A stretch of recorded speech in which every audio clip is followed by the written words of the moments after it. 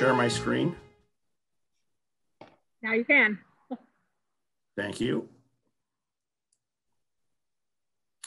So where we left off at last week's meeting, um, we had talked about, I, I had shown some different options for the roof screen. And we had talked about looking at um, the wrought iron option and considering some patterns that may add some density to the screen to help obscure the um, the roof units a little bit better. So Ken uh, was kind enough to work up a couple of options that are on my screen right now. So I'm starting with the overall front elevation so you can see the screen in context of the rest of the facade. Um, we had talked about roughly a four foot high screen and having it run the full length. Um, in a minute, I'll show why we cut it back a little bit. But first, what I want to do is zoom in on the existing wrought iron at the windows. So the pattern I had last week was similar to this without the center medallion and just a very basic top and bottom uh, rail. What Ken worked out is a variation on that. Can everybody see that clear enough? Yep. Okay.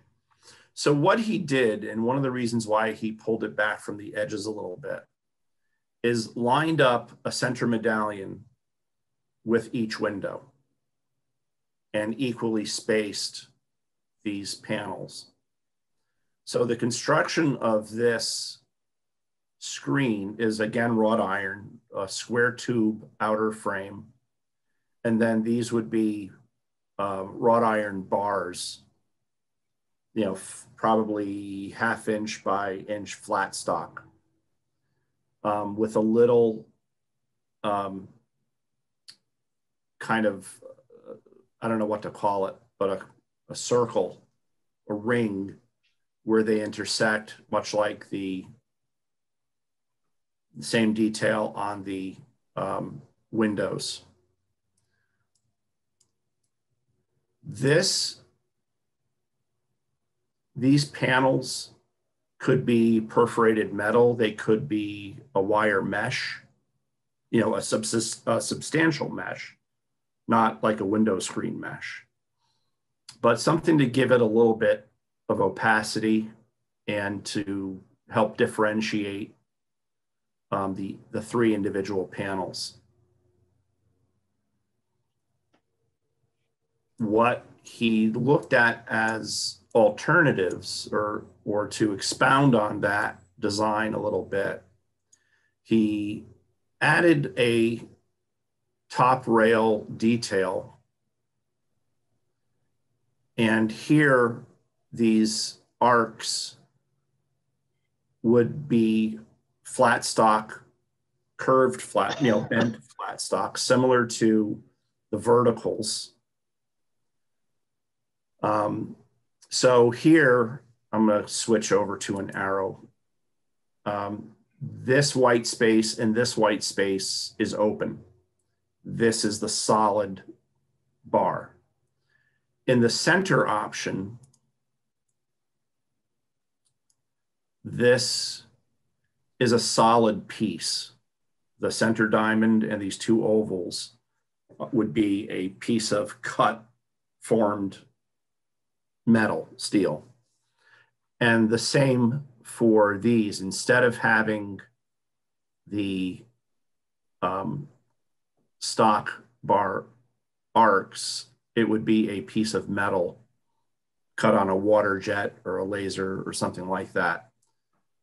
So the what you see hatched in is the solid piece, and these this is open to beyond.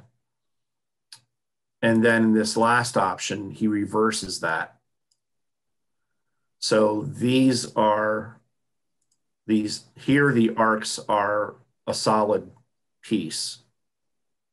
And where you see the white space is open, you're, you can see through it. And again, the center diamond and the two ovals are solid pieces. The screen stays the same. The, um, the verticals and the rings stay the same. So these are some options that um, give it some character, connect it to the building uh, a little bit better. And one of the reasons we pulled it in, aside from the symmetry, you know, uh, aligning the symmetry to the windows, is that you're going to need to have this set back from the edge anyway.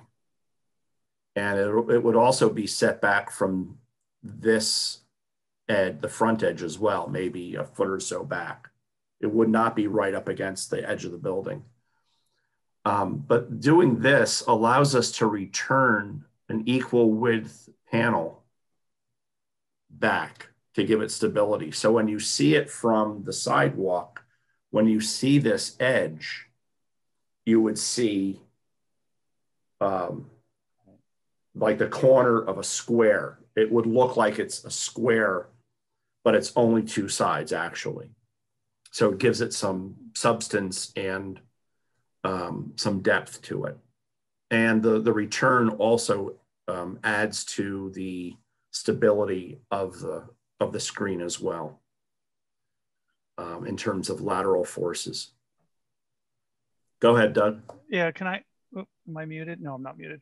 No, you're good. You, do you think, um, so between those two ideas, I mean, this one has much more just all, kind of all vertical pieces. Mm-hmm. And that other one had that horizontal piece. Do you yes. think, and you can see, obviously you're gonna be able to see through it from the, from the ground. Do you think having all vertical like this would hide it better because the air conditioner is kind of vertical? because I, I thought the other one looked a little too busy, like just too much detail.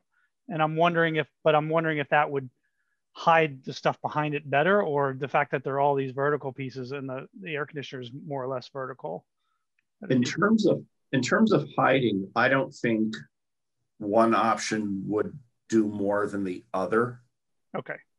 Personally, yeah. Yeah. Personally, we like this one because it's simpler. And although, um, you know, these windows have a similar detail top and bottom, I don't think you're really going to notice this top rail um, when it's on a roof farther back from the street than the, the main facade yeah, I mean, you're hoping they don't notice anything, right? They look up there, they kind of see the rail, and then they look away. Right. It's not, you know, they don't see anything really.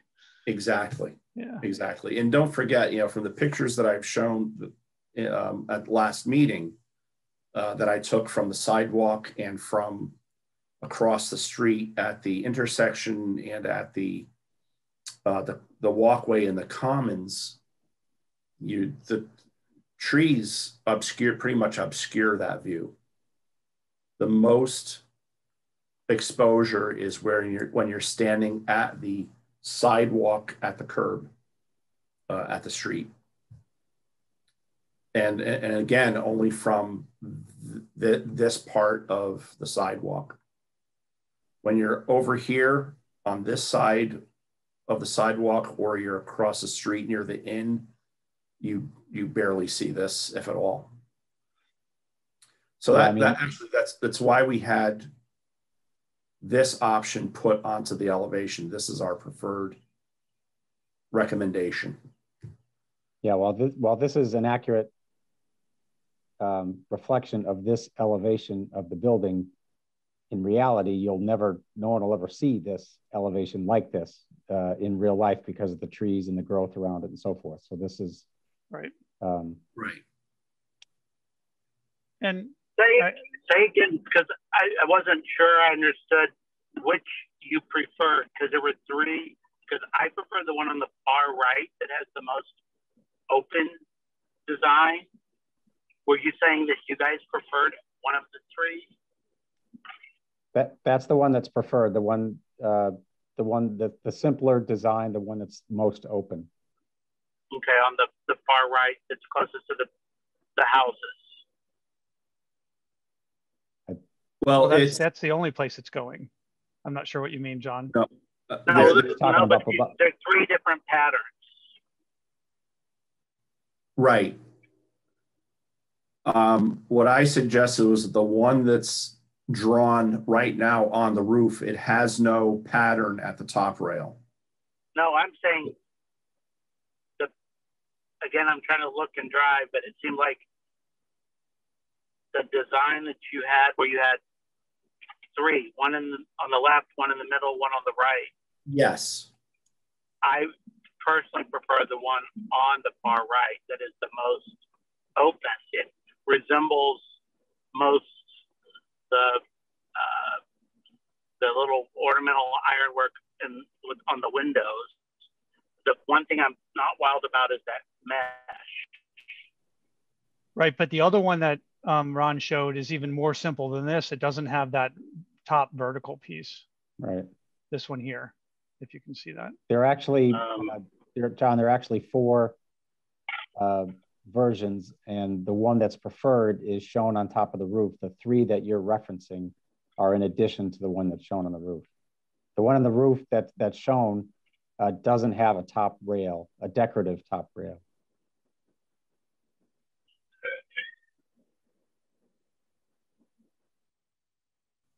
I, I need to get home to be able to stand through the pictures because I can only yeah get. Yeah, we, we prefer you don't crash.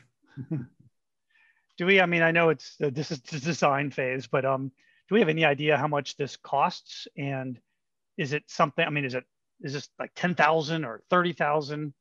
Um, and is it something that we need to have done while the current contractors are on site or can it be done after they leave and we get another contractor come in and do this? You can have you can I mean, obviously it's easiest if it's done with the current contractors. Right. Uh, it's not a. Uh, it's not going to hold up final inspections or occupancy of the building or anything like that. If you if you waited it until CTA is done for somebody else, if this work was funded privately, you could have it done by whoever. It's going it's going to be the cost is going to be enough that if you were to do it within the context of this contract, you'd have to bid it out, advertise it, bid it out, and go through a formal process. Yeah. Okay.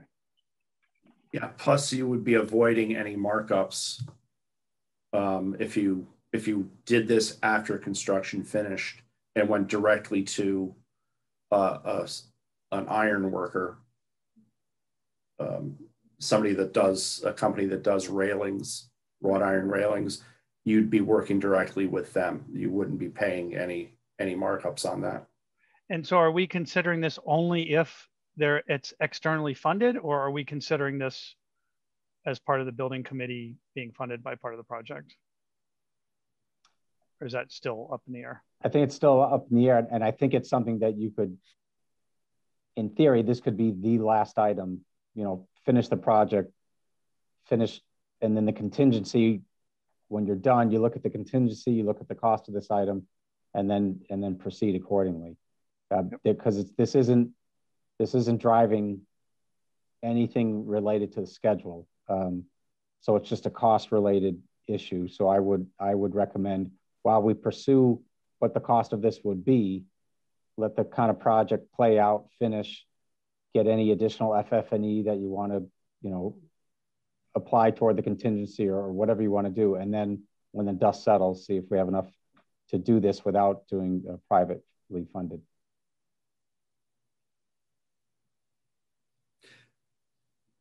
in in reference to John's comment about the mesh, um, we could look at some different options for material there. It could be a perforated metal. It could be a welded wire mesh. Um, I wouldn't want to do a solid panel because it would catch wind. Right.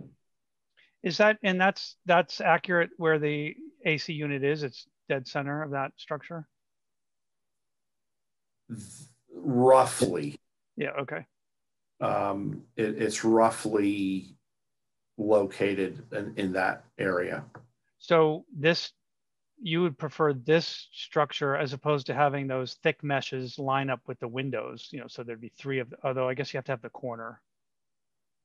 Never mind, you have to have, kind of have yeah. a corner. Yeah, never mind.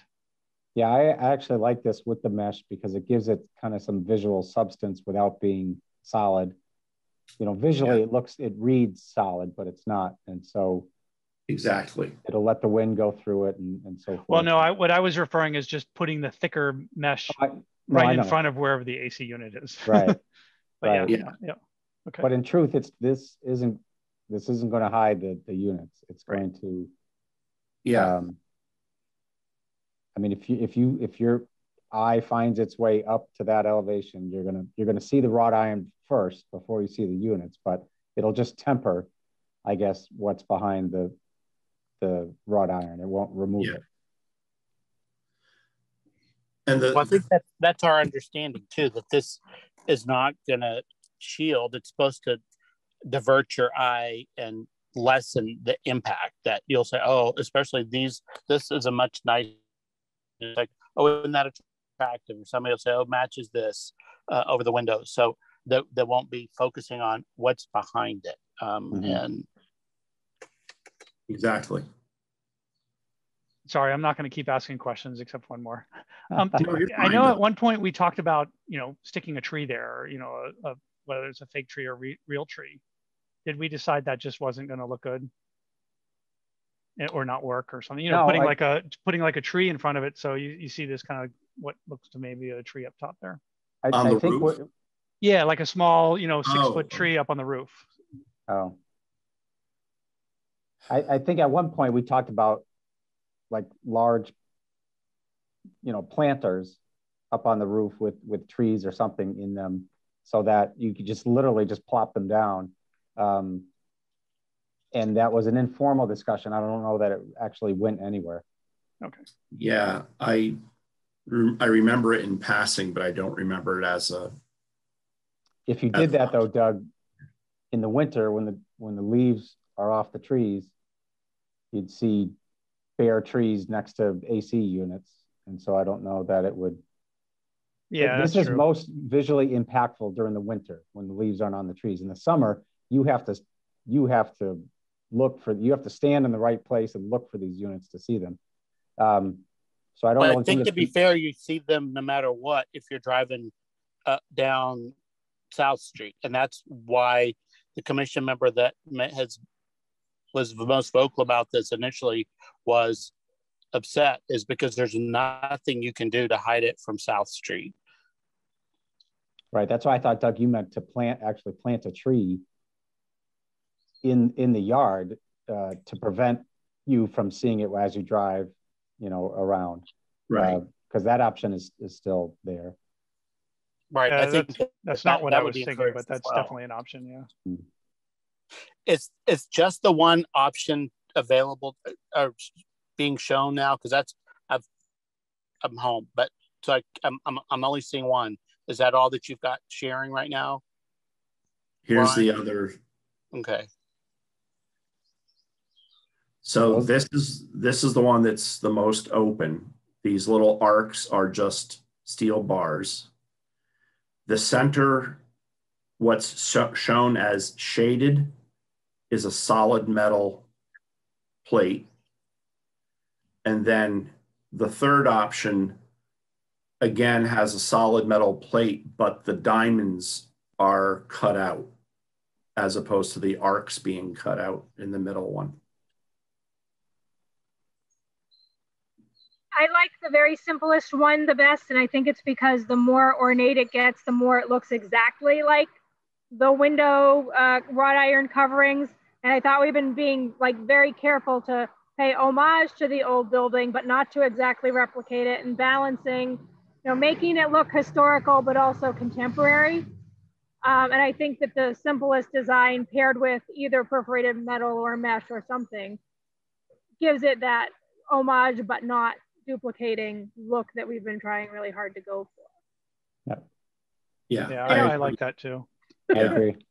And also, I think for this le this level of detail in the top rail, the cost of doing that, especially if it's these steel bars, it's going to add to the cost without the without much benefit because you're really not going to notice them.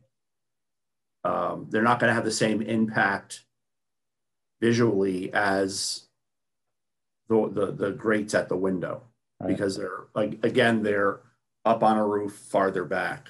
So I think the simple the simplest option with just the flat bar on top um, is probably the most beneficial. How much space is there? Is there like a um a, a, a flat or or top down image of this to show how far back it is set from the edge of the roof, and then how much space you have between the barrier and those air conditioning units? Like, would there still be room if we wanted to put some evergreen topiary kinds of things between the barrier and the unit? Or is it like right up against it? It's not right up against it. Um, I would assume this would be roughly a foot back from the parapet, back from the edge. Yeah. At that point, you have, I'm guessing, about seven feet from this railing to the, the rooftop unit. Right. And you need about three feet of clearance to access the, the, the unit for service. Um, you, so you wouldn't have room to put plantings in front of the rail. You may be able to get some plantings behind it. The only concern I would have about putting plantings on the roof here would be maintenance. Because uh, number one, well, depending on the planting, the weight. Because if you're doing a, a tree with a tub, that's going to be, it's going to have to be sizable and it's going to be pretty heavy. Um, and then you have to, you, you'd have to maintain whatever living thing you put up there. It's different than the green roof because the what's being planted in the green roof is intended to have minimal maintenance. Right. It's just like a wild grass that yeah, there's no roots, not a lot of roots. So you don't need the depth and the weight of all that soil either. You don't need the, that. Those pans are about four inches deep, and the uh, what's planted in them doesn't grow excessively.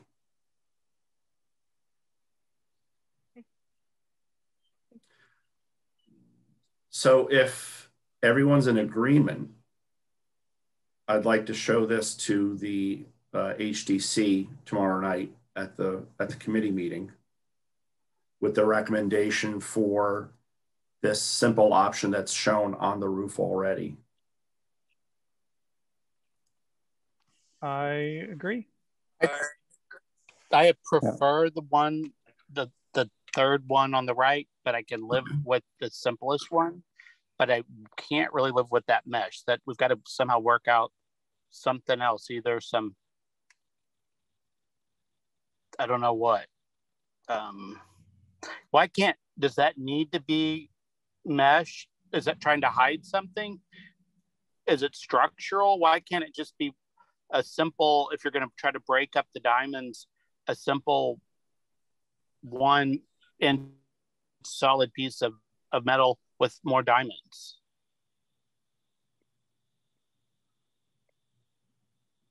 Um, what do you mean more diamonds? The diamond pattern that's the wrought iron. Oh, the ver- like these verticals. Right, or like the the little in between that has the s- smaller diamond with the, the ovals on the sides. It, right. Is, is there a reason that there's mesh? Is it hiding something? Is it structural? It's it's not hiding anything. It's not structural but it gives it gives it some it gives the railing some substance and gives it some sense of posts as if you, you were looking at a fence so to speak and you had you know a solid post and then rails in between um, it could i think if we did something like just the the crossbars or the diamond with the ovals, it would it would just be lost. It would look like a series of, you know, let's say five foot wide panels in between the decorations. And we could find some other material for those, for that infill. I would think some either something narrower that's solid if you're wanting to give the illusion of a post. But I think the you're mixing your metaphors when you have the mesh because to me that's like a cheap, even though it might not be, it looks cheap and inexpensive compared to the much more labor intensive, expensive, detailed um, wrought iron in between. Okay. We, we can look at some options because there's also a possibility of doing um, a metal panel with some cutouts in it. Um, custom like a like a, a, you know a water jet cut plate that maybe has a pattern of diamond cutouts or something. Um, can I, I would can, agree like with Beth. Less is more probably. You don't want to add a whole lot of extra, but you know, simple, simple and clean. Yeah. It, it could be a perforated panel. I mean, they, they sell prefabricated perforated panels that either have little square holes perforations or they have round perforations and those perforations you can get in a number of different sizes and patterns um, so instead of a mesh um, it could be a, just a perforated metal panel but we can look we can look at some options to run to run past everyone um, we'll just open up uh, the McNichols catalog and because they're they're known for the meshes and the perforated metals and whatnot. I mean, you, you could present this, Ron, and then get feedback. I, I don't imagine everyone will just sign off on it in the first presentation. And so, you know, there's been some discussion about these panels. We're looking at alternatives and so forth. Yeah. And I might, I might be able to dig up, I'll, you know, talk to Ken obviously, but we may be able to come up with some uh, examples of a, like a perforated metal panel yep. to show the, the committee. I think those end posts too is what helps it look a little bit more contemporary. Again, to not feel like we're just copying what's there. Yeah. Okay. So we'll run this past the HDC tomorrow as an initial recommendation. Um, see what feedback we get from from them in addition to John's, and we'll report back to you. Um, the other item I wanted to run past you, and this is something we're going to have to review with the HDC also. Um, these we have two signs exterior that are informational. One is at the edge of the wetlands behind the building um, that will illustrate and talk about the invasive species. Um, I believe that was part of the agreement with the uh, the uh, land commission.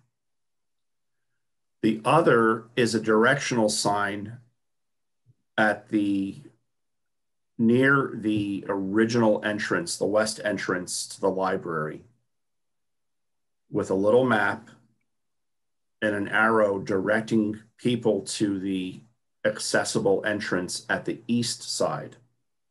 So we'd have a little site plan, picture of a site plan with a arrow leading them to the east to the east entrance. The reason I'm bringing this up to you is this is what we originally specified. This this sign. John, can you see this?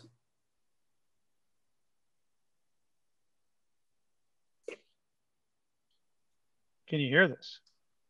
John? I can hear. Can you see what I have on the screen? Um, it looks like a little wayside type panel. How? Uh, I'm looking yeah, at it from my phone. What's the width? It's too high. It's roughly two feet wide. And it's, and it's not going to say anything other than handicapped entrance is around the corner, basically. Yeah, it's it would have on this plate here. Actually, it's going to look more like this one. So there's going to be a plate here with right. a site plan and arrows directing people to the handicap entrance at the east side. And then on the front plate would be an arrow to get them started. You know, go go this way. All right. So is there a choice between the top and the bottom? There there the could be one without there there could be. The reason I'm showing it to this this subcommittee is I believe it we should show it to the HDC because that directional sign will be in the front of the building facing the commons. So I wanted to bring it to everyone's attention, show you what we had originally planned. It has not been purchased yet. We don't own it. We, we received a shop drawing on it, but it has not been purchased. And I've told Seek, the contractor, not to buy it yet. Um, because so in, it, in front of the library, the sorry, go ahead. No, go ahead, John. No, in front of the library now, I don't know other than just in the um, above the door in the lintel. I think it says Grafton Public Library or Public Library, but other than that, there's no others. There will no not be any other signage on that entrance because this is considered the back door. Correct? Um, there is no other signage planned aside from this sign, which would be near the stairs, roughly. It will not be on the building. It would be planted. No, but that just mean that that that that's that the, the whole purpose is is to try to make everything the the main entrance be which we would consider the back. But that's where the big new sign is going to be. There'll be a sign over the door.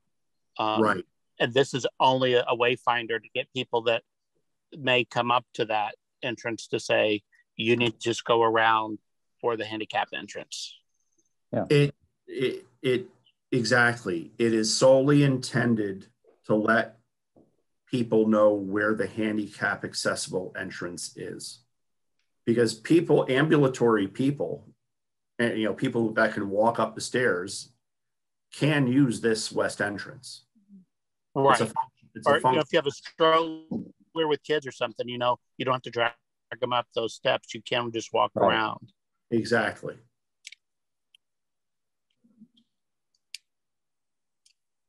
Um, I, go ahead, John. No, I just I'm tying in something else, so I, am not going off a way on a tangent. At, in some of the emails, it seems like Beth that there was potentially that we could not call the reading room. We had to call it the historic reading room. What has that been addressed? Oh. Um, yes. So there was a donor who yep. helped to fund that room. I believe the donor, and Doug can correct me, the, the conversation with the donor was they were fine with us calling it the Wheelock reading room, so long as there was uh-huh. in the directional signage, the 3D letters over the door, and like on a map of the of the library uh, so long as there was a donor plaque that would name if not the donor the person they want to honor um, you know like outside of the door so it wouldn't necessarily call like the beth galloway memorial reading room but the plaque might say in honor of beth galloway with wheelock reading room over the, the historic reading room entrance which is the ramp and the steps down right. that's correct yeah that's yeah. correct yeah Okay, because I, I was more concerned about calling it because it was a, a misnomer to, or, or, confusing to say historic reading room, and yeah. to give it Yeah. a name. That's why I said Wheelock. But if they want to call it the Galloway Reading Room because they gave you fifty thousand dollars, that I would think is okay. But if they are okay with the Whe- Wheelock Reading Room Yeah. and funded by the Smith family, that's great too. So Yeah, I they, they, they whatever works language for them. Yeah, Yeah. keep the donor happy. Yes. So Ron, you you brought up this sign. You implied like there was a reason why you we didn't go ahead and go forward with the sign. Are you proposing something different, or are you just trying to get confirmation that this is good? Um, what I'm, I wanted to show the committee what sign had been specified. So that, because I'm, tomorrow night, I want to show this to the Historic District Commission to get their sign off. Yep. Okay. I, I want to avoid the situations we've had in the past where items were, you know, unintentionally omitted from presentations. Yep. I don't want this thing to show up after it's put in the ground Right. and have the, the HDC say, where, where did that come from? So if they're not happy with it, is there a plan B option that would be like an oval sign, kind of like the one for the library with black wood and gold lettering, like to pit so it would match and fit more Basic. with the historic feel? Yeah. Basically, it would be, I, I would suggest doing something like this in the language of the, the exterior building sign. Right. So instead of tilting back, we might have white square posts, have this be just vertical, and it could still be a black oval with a little plaque uh, showing the site plan and a, a gold arrow pointing you to the sidewalk.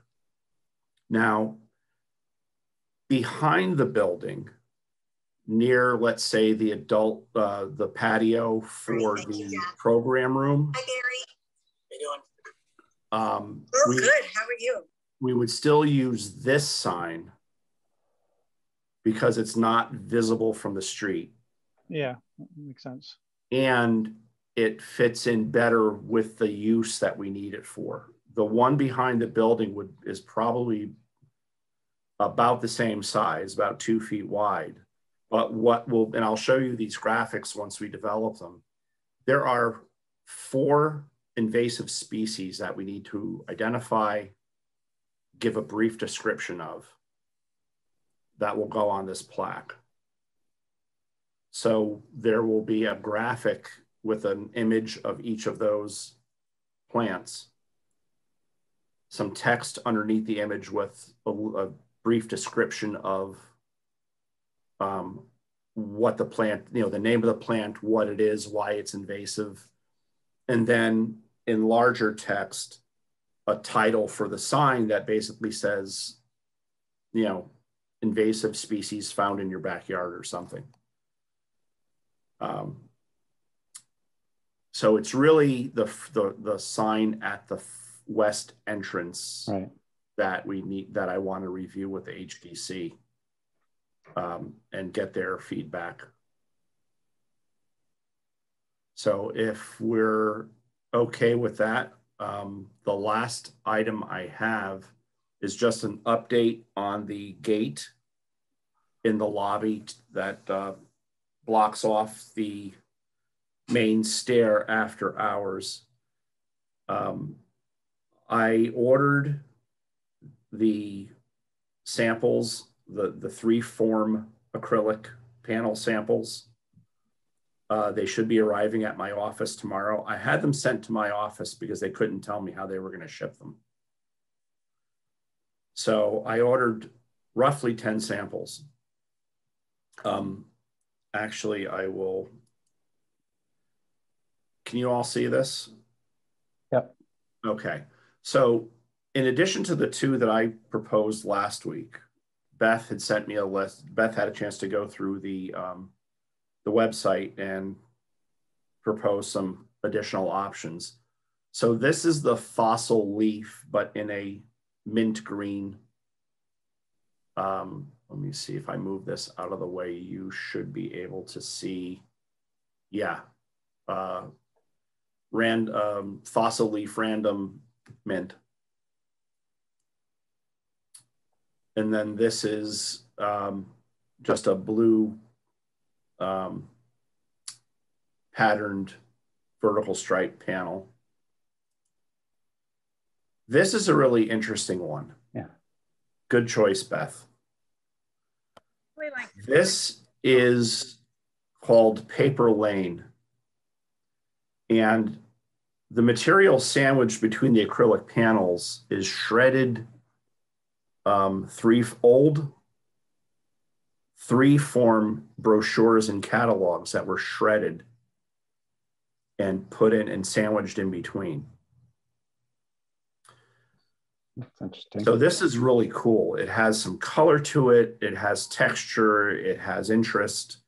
You can also have this custom made. I'm sorry, Beth? It's recycled. it's recycled. If we find out the value of those catalogs, we can. yeah, yeah. Well, I talked to the three form rep the other day, and she said this can be done custom. So if the library has old documents, like a maybe they have a Gutenberg Bible floating around someplace, the Magna Carta, you know. Um, but if you have old copies of library pamphlets or brochures or whatever that have no value, but you have them around, they could do a custom infill. So that's something to think about. Yeah. And if you hear of any thefts about of the Gutenberg Bible from Yale's Rare Books Library, it wasn't me. I had nothing to do with it. Uh, this is another panel. Um, it's kind of a frosted panel with some vertical striations that um, Beth felt tie into the X's that are in the wrought iron. It also ties to the twigs pattern that we have in the children's room. Uh, that's a nice one. This is actually, it's hard. I don't know if you'll be able to see this too well. Pink. Yep, it's actually strand, fine strands of copper wire. Yeah, if it's real copper, it's going to be real expensive. Um, oh, and then this is just a speckled pattern.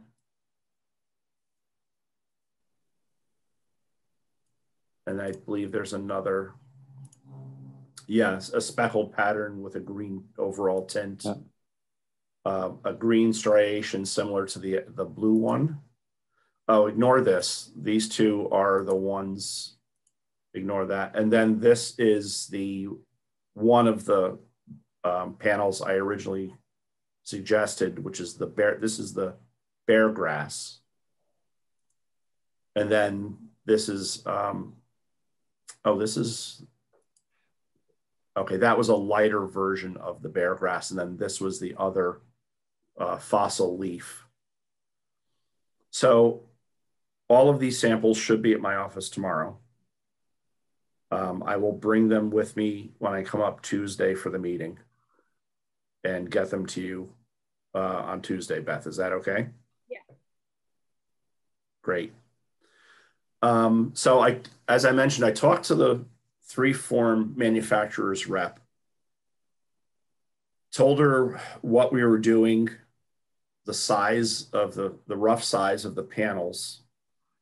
Um, I explained we have two options, uh, one with two vertical panels and one with four almost square panels. Gave her the rough dimensions and asked her to recommend a minimum thickness. And she said that quarter inch should probably be the thinnest we go, even though these aren't very big. Um, so that's great. That's fine. Um, she also recommended how much these are going to be set in between glass stops. much like a window or a door. Yeah, the glass doors have a uh, like a, a, wood stop around the edge to hold the glass panel in. These will have the same thing, and she recommended that the glass stops cover at least a half an, an inch of the edge all the way around. Um, aside from that, she saw no other issues that we should consider or be concerned about. Um, quarter inch minimum thickness and half inch minimum coverage with the stops around the edge. So as soon as those samples come in, I'm following up with our hardware consultant. Um, the hardware that was originally specified by the consultant was for a thicker door, a two and a quarter inch door. I'm recommending a one and three quarter inch door, which is the thickness of your typical door. Um, so I'm running that past the hardware consultant to see if he recommends different hinges. The other thing I'm going to ask the consultant to look for is there's a crash bar on this gate and it has to be at a certain height, which is roughly 39, 41 inches above the floor. So what I'm going to ask is if there is a, uh, a paddle version available for the crash bar that we could use rather than a, you know a, a bar that goes all the way across a paddle would be like a vertical box uh, have you ever seen those um, like the emergency exits that have a, a paddle that has a sign that says if you push this paddle, the alarm's going to go off. But that paddle is not attached to the door behind it, it's attached to the lock set. Um, so I'm going to see if they have something like that that we can use instead of a full crash bar. It will. The, meet, go ahead. But the paddle is obviously on the uphill side, because right. it's to push. So when you spin it around against the outside wall, that's the part you're going to see. Unfortunately, yes. So almost it almost seems like the the the vert, the horizontal push bar going all the way across the room might actually look nicer. I don't know, a little more symmet- symmetric. Well, it wouldn't go all the way across the room. It would uh, it would maybe oh, the door, yeah. 24 or 30 inches okay. wide. Okay. The thing is, if we use the crash bar, it would cover one of those panels. Oh, that's true. Yeah, yeah, yeah. Right. Had we settled yep. on two panels versus four panels, and if you had to have a vertical bar even on half of it, couldn't you just make the panels, even if they're asymmetrical, so, so that the what do you call it, the glass stop, like lines up with the the horizontal bar in the back because it's I was thinking right because it's glass. It, yeah. Yeah. I was thinking about that, and I haven't had a chance to to draw it up because I need to um, uh, I need to figure out exactly where that bar would fall on the yeah I know the I know the height it needs to be at I just need to draw it and see how much space I have left above it to see if I can fit in the frame of the door and a glass panel. Or, or can it be like three sections instead of two? I mean, can't you play around with? Yes. Or or a big one at the bottom and a smaller one in the middle and a bigger one at the bottom. You know, whatever it takes to kind of make the yes. panic bar have a, a wooden home or uh, a style, whatever you want to call it, to. Yes, exactly. To land on. Exactly. That's what I'm going to be looking at. But just just in case, I was going to ask the rep to, to come up with a, see if we can come up with a paddle version that may be less obtrusive. And that way, uh, I would, you, the, this committee would have the choice of do you, do you like it this way or do you like it that way? Right. If I'm not making the decision for you, I'm looking into options.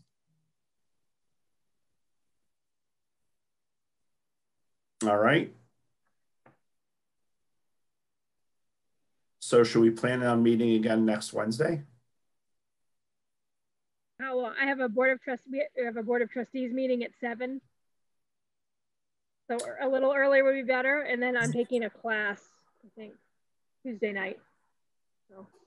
Um, yeah. Thursday night. I can't meet in person. Do we want to look in person at, at samples? Well, I was going to bring the samples to you on Tuesday. Okay. Does anyone else want to look at the samples? Well, I, I could go I on Tuesday to look, but I, am going to be in Texas next weekend, starting Thursday. Monday? Can we do Monday the 20th? Is that the 24th? I mean, two two of the issues are historic, so we're just waiting for direction from them. But this panel, we just need to get eyes on it, you know, from different people. So maybe if you brought the samples to the site next week, Ron, and then during the course of the week, people could look at them and pick their top three or whatever, mm -hmm. and then we can go from there. Okay, maybe meet the following week. Yeah. Okay. Um, because what I can do uh, and for next Tuesday when I bring up the samples. And that way Beth will have them at the library and people can go right can go see them at the library. But simultaneously, I will email this committee um, some elevations of that gate as John and Beth described. You know, play around with the panel sizes to see how we can work that crash bar into it. Um, and then I will have feedback. Uh, you know, we'll we'll fill you in on tomorrow night's meeting with the historic district regarding the uh, screen, the roof screen, and the sign out front. We'll I'll, I'll let you know what feedback we get on those two items from HDC. And I think that wraps it up. Um, well, I have something. I don't know if this is the right meeting or if it needs to be the full meeting. Um, is the fact that Beth says now that the weights and measures, there's been a change in the mm-hmm. plan and it's not going to fit. But I only found that out because historic district was or historical commission was planning to move it, and Andy gave us a date, and then Beth said nope, there's no longer any room for it. So I don't know if that's the full committee that needs to discuss that. So it's it's not that it doesn't fit the space; it's that we actually do not have enough storage on site for the entire library's collection. And I did dig up the minutes um, from the meeting where we discussed it, where I said that it was out of scope, but I would get back to you. Um, I brought it to Board of Trustees not for a vote, vote, but just to say this is what we're thinking, and we could make it work if we move the self check there's an electrical outlet and an alcove. Um, we didn't have any vote on it with the board or with the full committee or with the interiors committee. And John, when you told me that the weights and measures cabinet was restored and sitting at the municipal center, I said, great, then you have a home for it. No, that's not, no. And that's, you that's, not that's let what, That's what you said. I am trying to be nice, but as I'm finding that people are doing things that weren't agreed to, I'm not being as nice. That's not what was agreed upon. When the selectmen agreed to have this restored, the intent, what the Circle Commission told them was it was going to go on the new library. And that's what the discussion's been all along. And all of a sudden, when it's time that we're really literally making plans to move it, that it's like, oh no, there's no longer room for it. It doesn't matter if there's space in 50 buildings. This building belongs to the town of Grafton. It is not going to be part of your collection. It's something that problem. It's it's not scope for the library's collection at all. It's not a museum. Okay, but but but your library is owned by the town, and if the town said you have to put a truck in the front, you wouldn't have a choice if that's what the town said. The board of trustees Actually, have jurisdiction over the building, John. Yeah, so that I building is under meeting for a vote, if you'd like.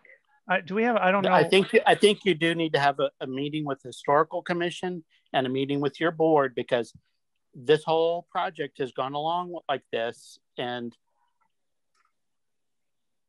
I, have been telling them all along yes there's space yes there's space that's it's that's good, what's going to happen this was measured and designed and there's an outlet And then, nope, that's not the plan. Yeah, I mean, that seems beyond the scope of this group here.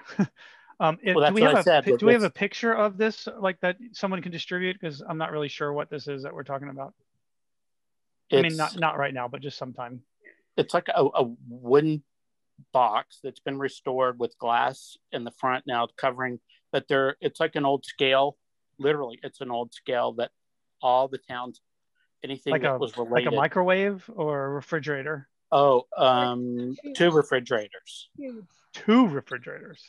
Yeah. Yes but it fits in this little niche that was designed for it no. with the outlet to no. plug in the no. lights. John that ne- i have the original plans from 2019 that niche was intended to hold a self check because it is right across like the hallway from the circulation desk. And I agreed to move that to see if it would fit. And now it turns out I have no place to store library of things. And we also did not account for the public hold shelf. So, well, I, I would just say okay, that well, regardless, it doesn't seem like that's part that of this interior. That nothing works. Right. So the, I, the public, the there needs to be a further discussion of this okay. somewhere. Yeah, it seems like the larger building committee would be the, and and then of course the trustees at some point too, because the trustees have, the library have building. correct. Yeah. Yeah. Yeah, and they weren't opposed to it when I thought we could give up the space, but as it turns up, we really cannot give up the space. If you want to have another conversation, how can we have how many hundred thousand feet and there's not space for whatever you're saying. I just find me a single closet in that building. There's no closets to store anything. Okay. Because I'm not the architect. I didn't design it, and I didn't tell them we needed a closet. So, and there's the, yeah, this is not the place, and I've got finance committee that I've got to attend. So. Yeah, but if someone could send me a so picture, a specific... um, I'd love to see the see the picture of this thing. Uh, I will go by tomorrow after work and take a picture of it if I can get in the building and, and send it. It's where is it in? It's in the municipal building. It's it's in the the kind of the, where the um, food bank food is, um, right when you go in the front. So it's the, accessible. I could go in and see it. Oh yeah, yeah. Okay, I can take care. I can do that, John. Thanks. But I don't have a problem taking a picture either, because everybody might want to see. That's true. Yep. Okay. Um, and I wanted um, to bring up counter heights in the building, specifically in the teen space. And now I've discovered that the adult computer counter heights are stool height. Um, and I was told that every space within the building was seated counter height except for the staff room, which has a really tall counter. Um, but these are not accessible. And I don't feel that just simply ordering stools is an appropriate response to this error when we have like been pushing how accessible the building is. Actually, the duration of the project. Actually, that they're at 34 inches high, which is within the ADA accessible heights. They give ADA gives us a, a range of height from 29 to 34 inches. Counter height is 36 to 42 inches. So somebody sitting in a regular old wheelchair can wheel up to it and use it, is what you're telling me. That's not, the reason. Not that's the range and that's the code, but it actually will work for our patrons in wheelchairs. If it if it didn't work, it wouldn't be part of the ADA code. The reason being is so the wheelchair arms can fit under the apron of the of the counter. I have to jump off because I've got to go to this other meeting. When is the next meeting so I can get it posted? In two weeks. Two but weeks. Do we have a, what what day of the That's week? That's the second. I have another commitment on that night. I can't meet. Oh. Well, I mean, okay. I, okay somebody just can somebody text me because I really um, yeah. they've already started without. We'll me, figure so. it out, John. Okay. Thank you. Okay. Bye.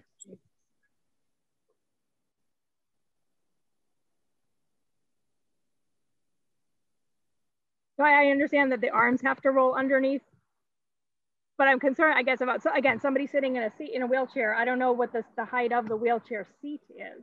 Is it going to be up high enough that they are not typing like this at those spaces? It's not, it shouldn't be too high. Um, it, it meets, it's part of the ADA yeah. code and recommendations. And are we referring to that that one strip in the adult room? That's where all the computers are going to be, or are there multiple places? It's it's it's that spot. So there, there's a laptop counter that I thought was okay, but I haven't been back in to actually look at that. Um, then there's desktops. There's supposed to be four desktops and five chairs, and it's right like outside of the 10 seat meeting room. Yep. And then in the YA makerspace, there's also a counter that's high that faces a window that looks into the gaming room. Right. Yeah. Yep. Now okay. that one is at 42 inches. Why? Because it we needed it to coordinate with the window and with the um, the side counter. We felt that if people were sitting at that, and we and for that one we did order stools.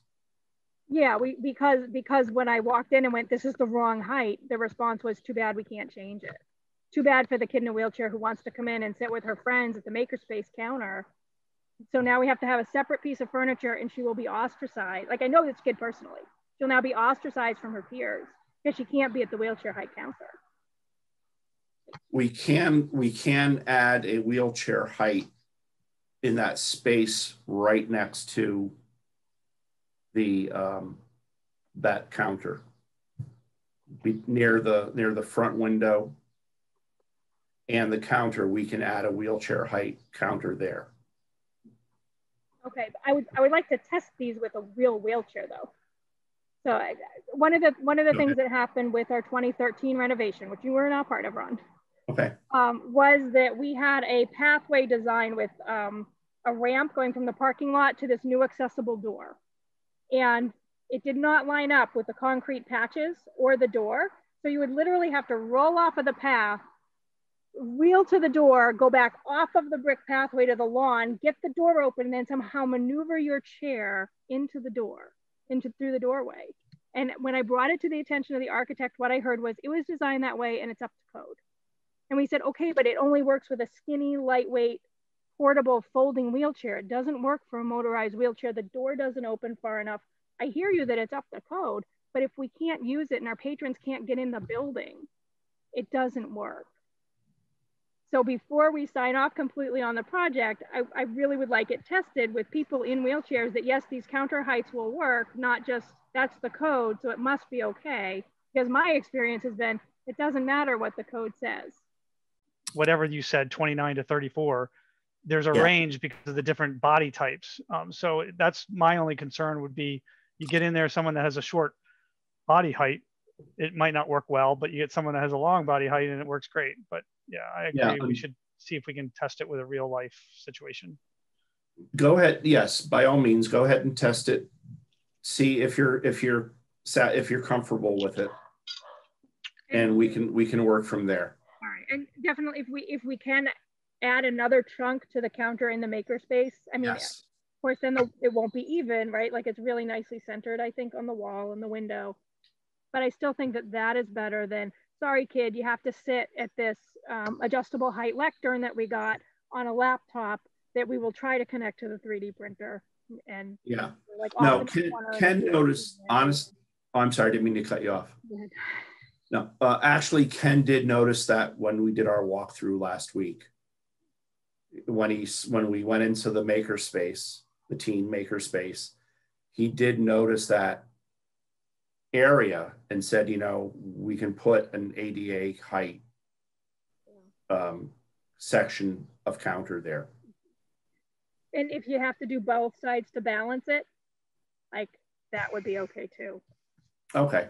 And we can um, potentially play with the width of that 42 inch height counter. I'd have to see how it's done structurally. Right. But it may be that we can get a double wide at at um, wheelchair height so that the person can sit with a companion. So we, we might need to cut some of that 42 inch high counter short. But let me let Ken and I will look at it and and see what what we can come up with. I mean, I, I already have historical commission pissed off at me, so I don't want to add disability commission to that. Okay, we promise not to put any more targets on your back.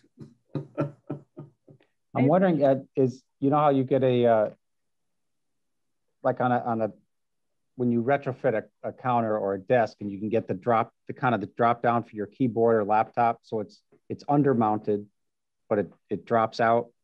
Do you know do you know what I mean? So you could have if the countertop top is physically borderline too high, but it has a drop down pull out for that's that's usually in a recessed position. But if somebody in a wheelchair, they can go up, drop it out, and then then they can use that tray. space. Yeah, without without having to change anything. Yeah. Um, I'd have to I'd have to look at some keyboard trays. I mean, I've I've specced a ton of those things in my past life. Yeah. Um, I'd have to check to see if it goes low enough from a 42 inch high counter right. to get down to the right. The only concern I would have about that is that the keyboard and mouse would be at the correct height, but now the monitor is right. yeah, yeah. up here. It could, if you're not comfortable with the height at the computer counter, keyboard trays would be an option there. I was thinking if that if that's really for are there are there going to be um, the one in the hallway um, that's in the background that uh, Doug's behind Doug's uh, face. Yeah. are there going to be monitors there, or is it for people with laptops to put? No, it, it, it's for desktop computers, and the, yeah, okay. the, the point of it was people who aren't comfortable with a laptop, generally elderly population, will want to sit down and use a traditional large, you know, full, okay. full size keyboard, full size monitor. So we're going to get four. Um, and I, like I said, I just can't picture them if it's that same population, then like clamoring up right, on right. cafe chairs and not being able to put their feet stably on the floor and okay.